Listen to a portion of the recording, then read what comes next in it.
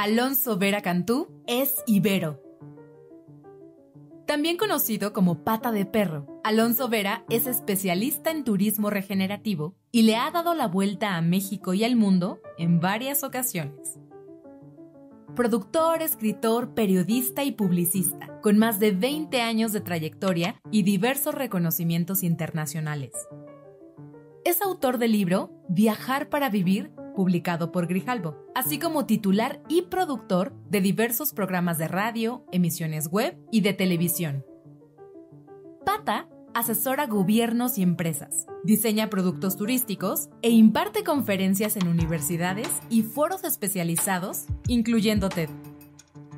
Fue columnista del diario Reforma 19 años y ha publicado más de mil artículos en los medios de mayor prestigio, así como guías prácticas, series, programas y documentales de temáticas turísticas y culturales. Soy Ibero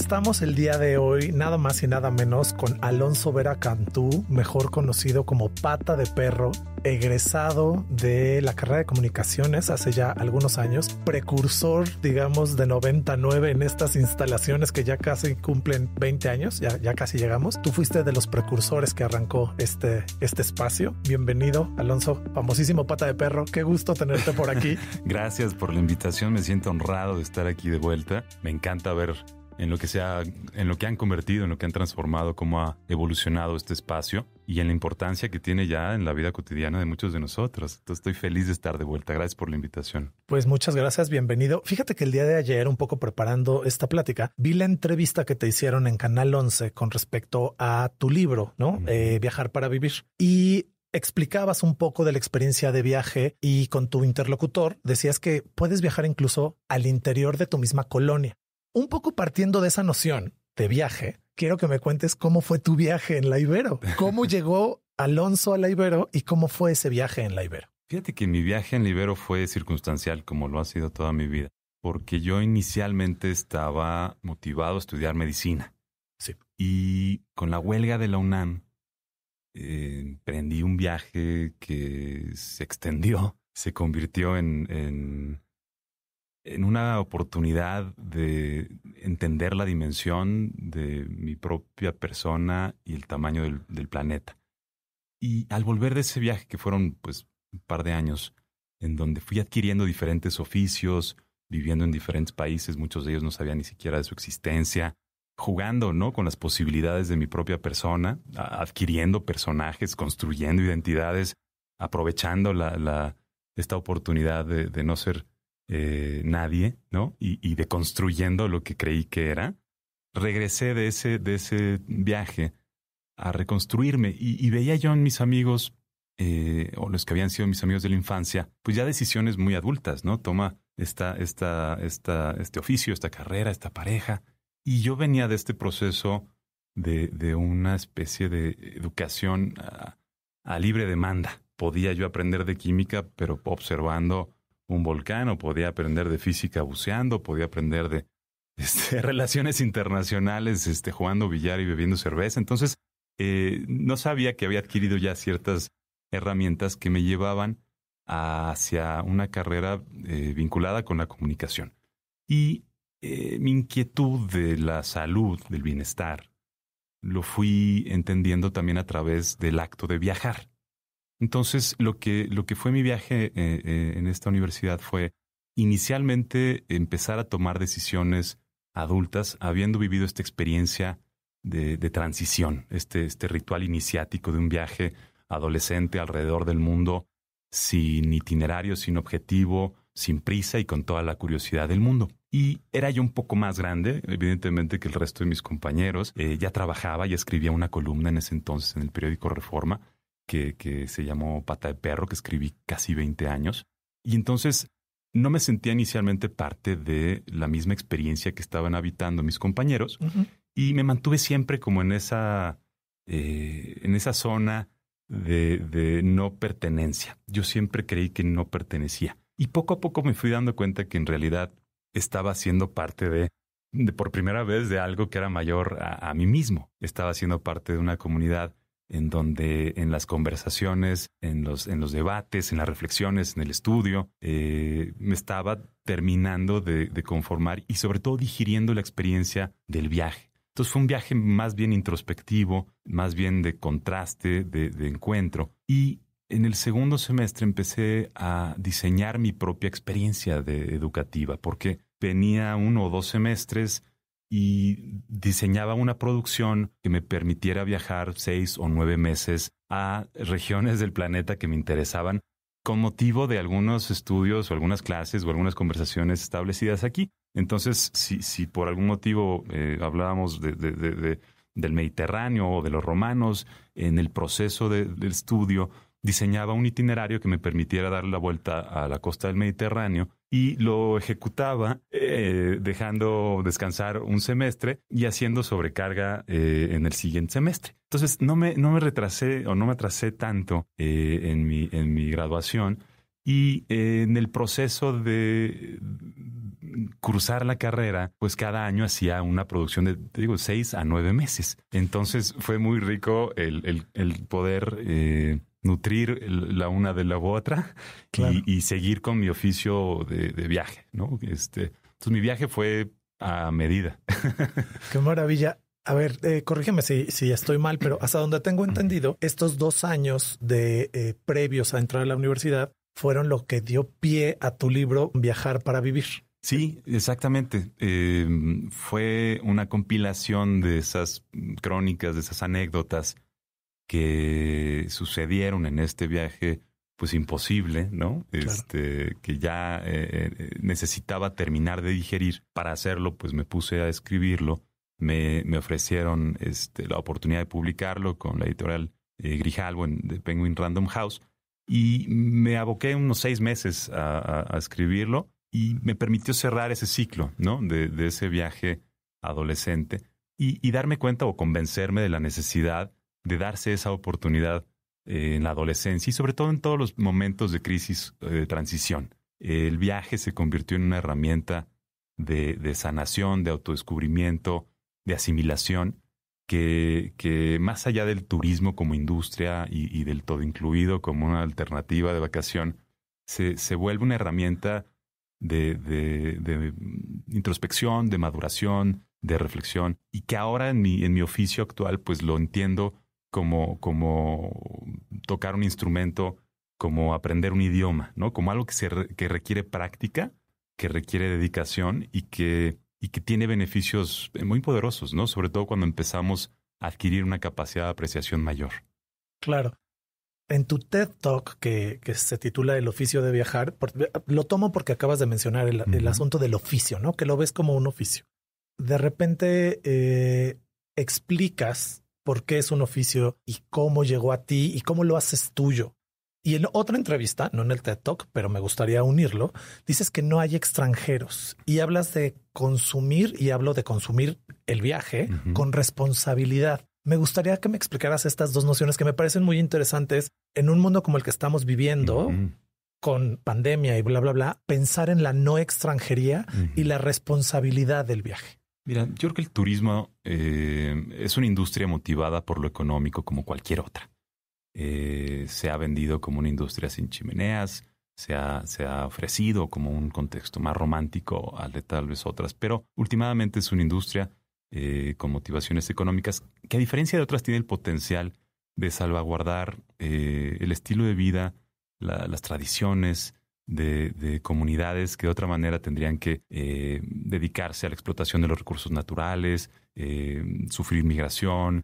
Y esta industria tiene también eh, una necesidad tripartita. Por una parte está el consumidor, el anfitrión y el contexto. Entonces, creo que a nivel México, siendo el turismo una industria que genera el 9% de nuestro Producto Interno Bruto, es el principal empleador de jóvenes, el segundo empleador de mujeres, eh, tenemos todavía un largo camino por recorrer. Nuestra oferta es muy limitada. Suceden una gran cantidad de, situaciones maravillosas. Migraciones naturales, tenemos zonas arqueológicas, fiestas populares, cocinas tradicionales, eh, arte popular. Eh, tenemos infinidad de, oferta en potencia, pero producto turístico no tenemos.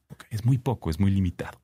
Em, de hecho, los últimos dos años me dediqué precisamente a, identificar y evaluar, eh, certificar y documentar la oferta turística integral del país. Visité todas las entidades, hice más de mil entrevistas, identifiqué muy poco producto turístico competitivo, ¿no? Y el turismo, a diferencia de otras industrias, lo que ofrecemos son productos inacabados.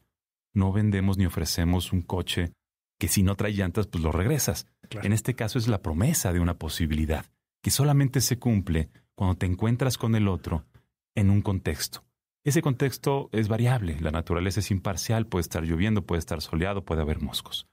El anfitrión puede estar de buenas, de malas, puede estar, ¿no? Este, incapacitado, para, para eh, intermediar entre nosotros y el contexto, o nosotros podemos venir de malas y con una alta expectativa. No, hay, muchísimas variables que determinan si el producto final es exitoso o no. Entonces, eso es, un, es una industria que requiere que los consumidores seamos partícipes o copartícipes del resultado de nuestra, de nuestra adquisición. Y no tenemos esa cultura de consumo que creo pudiéramos tener. Si la practicamos más con un proceso previo de investigación, porque cuando tú eliges con conocimiento de causa tu destino, tu hotel, tu comida, tu actividad, tu compra, puedes transformar positivamente o negativamente o afectar o alterar o conservar o destruir ¿no? El contexto y la vida cotidiana de tus anfitriones. Entonces, mi misión eh, y, y, mi sentimiento actual es el de fortalecer esta industria que tanta bonanza puede traer al país, que tanta diversificación, que tantas oportunidades puede, puede traer pero que estamos tristemente abocados en un paradigma sol y playa desde los años 70, el todo incluido de las playas. Esta crisis, esta emergencia sanitaria, la celebro y desde el principio la he celebrado, porque es consecuencia de la forma en la que hemos estado llevando nuestras vidas y nuestras relaciones interpersonales y con la naturaleza, y también es la posibilidad de que en esta pausa encontremos una introspección y una posibilidad de que la industria que está sufriendo muchísimo, ¿no? Estamos cerrando, están quebrando, está habiendo una, una, catarsis, una crisis tremenda. No hay un apoyo eh, de parte de las instancias públicas hacia la manutención, ¿no? De, de, lo que tenemos este, como oferta. Y entonces lo que estamos viendo es una reorganización a nivel ciudadano y también la, gran necesidad de consumidores más conscientes, ¿no? Entonces, creo que la, la, oportunidad de esta emergencia sanitaria es el replantear la manera en la que consumimos y eh, la necesidad que tenemos es, pues, traer un poco de certidumbre a una actividad que es, en esencia, incierta. Salir de casa, comer en un lugar distinto, dormir en otra cama, hablar otro idioma, enfrentarte a otras situaciones genera incertidumbre que a muchos se les complica no es tan complicado como la física cuántica. Este, eh, el, viaje se nos da a todos de manera bastante natural una vez que superamos estos miedos, pero ahora hay que sumarle temas de incertidumbre, de, sanidad. Entonces, eh, creo que el, contexto es muy propicio para replantear, eh, hacer un, ejercicio de planeación que no se ha hecho y traer a la mesa alternativas al sol y playa. Hay mucho más que sucede en nuestro país que es delicioso ¿no? y, y muy atractivo.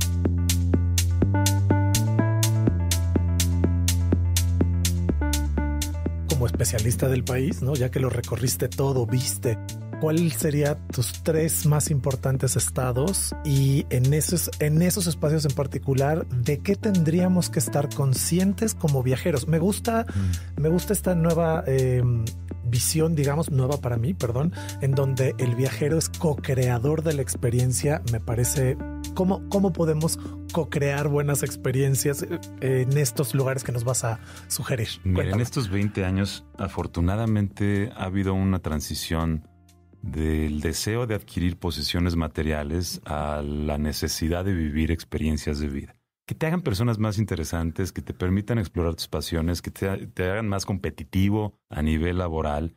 Entonces, en esta, en esta, mm, eh, en este contexto donde no solamente buscamos vivenciar, también estamos empezando a buscar participar de situaciones que nos hagan sentir eh, que estamos apoyando, transformando de alguna manera alguna causa que nos interesa, que nos motiva, ¿no? Este, salvaguardar a alguna especie en peligro de extinción, algún este, medio ambiente. Entonces, creo que el, el, escenario para el interior de la República, digamos, eh, como alternativas de viaje, para mí es muy interesante lo que está sucediendo en el norte. Eh, por ejemplo, eh, en, Coahuila, y en Chihuahua, que son dos destinos eh, que no había tenido yo la oportunidad de, analizar, de, visitar con la profundidad con la que pude visitarlos y que me dejaron fascinado.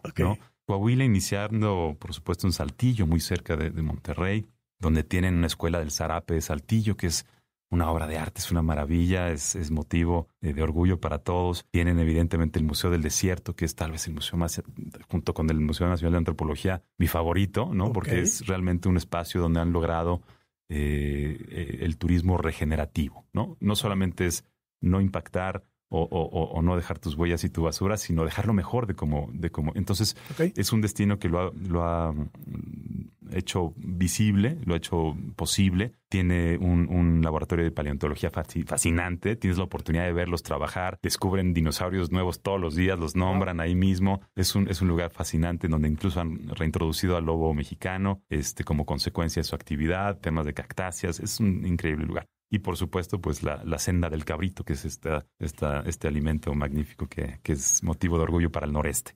Eh, y está el tema de Parras con los vinos que desde el siglo XVI se producen de manera ininterrumpida y que están llegando a dar a conocer a, a, a México en el mundo por la gran calidad de, su, de, sus, de sus productos. Patrociénegas, que es un lugar fascinante con unas pozas y unas dunas de yeso, en donde hay un, una posibilidad de construir un modelo de turismo regenerativo o, echarlo todo a perder como lo hemos estado haciendo en todos los demás lugares. Entonces, Coahuila me parece fascinante como alternativa. Michoacán me vuelve loco. Okay. Es un agasajo ver la gran diversidad de oficios, el arte popular, eh, eh, cómo vive en la meseta purépecha sobre todo, eh, el, tema de la cocina tradicional, el orgullo, el respeto que le tienen a la técnica, al ingrediente, al producto en temporada, la importancia de la, de la, de la comunidad para poder lograr platillos que se han venido creando y sirviendo desde hace cientos de años, eh, eh, la influencia ¿no? del Tata Vasco de Quiroga en esta conformación ¿no? de, de, un, de una eh, colaboración más que una imposición de ideas, de, técnicas, de, elementos culturales.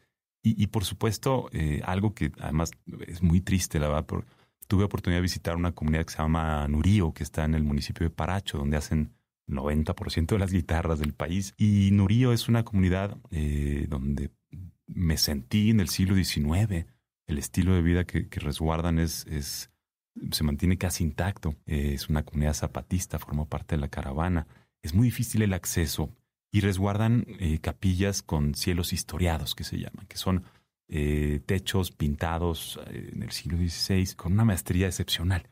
Y después de visitar una de ellas, la más importante, eh, pocos días, pocas semanas después, se incendió y se perdió. Entonces, wow. casi cuatrocientos y tantos años este, se mantuvo ese tesoro como, como escondido y, y, lo perdimos. Entonces, creo que se está, es, síntoma de lo que está sucediendo en nuestro país. Estamos perdiendo buena parte de, los tesoros, de los patrimonios que, teníamos o tenemos todavía por ignorancia y porque el turismo que tiene este potencial de iluminar ciertas brechas que de pronto si se, oscurecen, se, crean, ¿no? Este, dan, dan espacio a vicios y a, estilos que no son necesariamente dignos de vida. Eh, el turismo ilumina esos caminos, eh, le, da, le da notoriedad a, a espacios, a técnicas, a tradiciones, eh, como ninguna otra industria. Entonces, el hecho de que viajemos, el hecho de que superemos estos miedos iniciales, eh, el hecho de que superemos esos estereotipos y esos prejuicios y que seamos copartícipes de, de, rescatar o salvaguardar y disfrutar, ¿no? A través del disfrute, ni siquiera es algo como muy, muy sufrido, eh, creo que le puede hacer muy bien a nuestro país. Y el hecho de que invirtamos, no gastemos, que invirtamos nuestro dinero eh, manteniendo cadenas productivas, relaciones, este, iniciativas eh, de, los locales, pues creo que le va a hacer y le va a seguir haciendo muy bien a nuestro país. Entonces viajar para mí es, es una herramienta muy poderosa, ¿no? Eh, sí, sí, bueno, me queda claro que has hecho tu vida en torno a esta, a este criterio, a esta noción algo que para ti fuera importante compartir con nuestros escuchas eh, con respecto a algo que te haya dado la institución en este caminar, en este andar. Eh, yo sé que aquí conociste a, tu esposa y que llevan igual casi 20 años juntos, dos hijos, que también ha sido un viaje para ustedes, que ella forma parte de este viaje. Quisiera saber qué, qué, papel crees que tuvo la Ibero en este, en este viaje, porque me queda claro, como acabas de mencionar, si te decían, no sé, el Mediterráneo, ibas al Mediterráneo, o algún profesor que para ti haya marcado alguna pauta de viaje importante para ti. Cuéntame. Yo creo que la experiencia aquí fue definitoria en eh, animarme a emprender un oficio que entonces era inexistente. ¿no? Eh, cuando me ofrecieron mi columna en el periódico Reforma, me dijeron que no iba a vivir nunca de esto, que lo tomara como un hobby. Y eso era justo lo que necesitaba yo escuchar para decir, no, no, no, a ver, de esto es de, lo que voy a, vivir yo.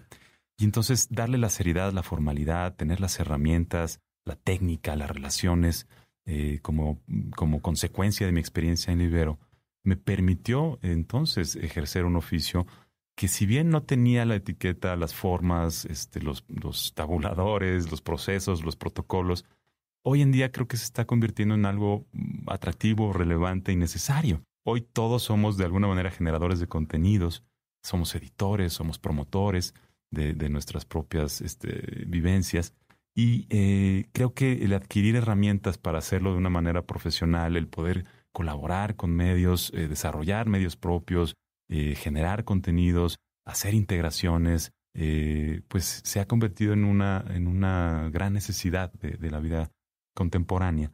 Y, y el hecho de, de, haber vivido esta experiencia universitaria, pues me permitió formalizarlo, ¿no? Y tomar las decisiones adultas que no hubiera tomado si me hubiera mantenido en, esa, en ese viaje adolescente, ¿no? Me permitió transicionar de mi adolescencia a una etapa eh, eh, en donde si bien sigo evolucionando y madurando todos los días y aprendiendo todos los días, me constituyó en lo personal y mi círculo inmediato, pues todo es eh, fue conocido en este espacio, ¿no? Y lo agradezco de corazón, tanto maestros que son ahora amigos, como amigos que ahora son maestros, como compañeros que son pareja y demás, todo me lo ha dado, ¿no?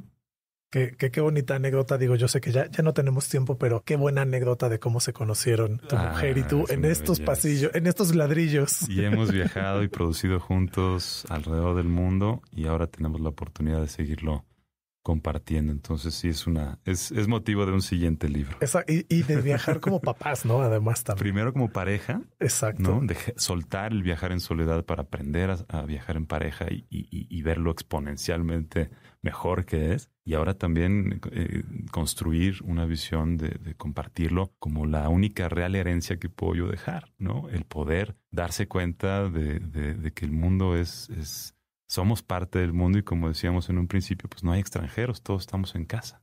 Pues muchísimas gracias, Alonso Vera, por tu tiempo, por tu espacio, sobre todo por compartir con nosotros tu, sabiduría, tu experiencia. Y creo que es un muy buen punto de partida para que aquellos que tienen miedo superen el miedo de dónde dormir, qué comer, solucionarlo y abrirse a las experiencias. Muchísimas gracias. Lo peor que les puede pasar es que no les pase nada. Exacto. Oye, y en redes estoy en Instagram como arroba el pata de perro, eh, en Twitter como arroba Alonso Vera y en Facebook Alonso Pata de Perro Vera. Me encantará que nos comenten y nos compartan crónicas, anécdotas, sugerencias y demás. Muchísimas gracias, Alonso. Gracias a ustedes. Soy Ibero es un podcast para reconocer y visibilizar la labor de los y las egresadas que trabajan todos los días por una sociedad más justa, libre y solidaria. Soy Ibero. Disponible la primera temporada en plataformas de audio y en el sitio ibero99.fm. Soy Ibero. En los podcasts de Ibero.2 hay una tormenta de ideas. Amamos, imaginamos debatimos e intenseamos con todo. Tiene onda, frecuencia disruptiva y de amor y otras ficciones, segunda, temporada. Personas complejas, objetos simples. Producto rock. Escucha nuestras producciones en plataformas de audio y en nuestro sitio ibero2.cloud. Ibero.2. Música para pensar.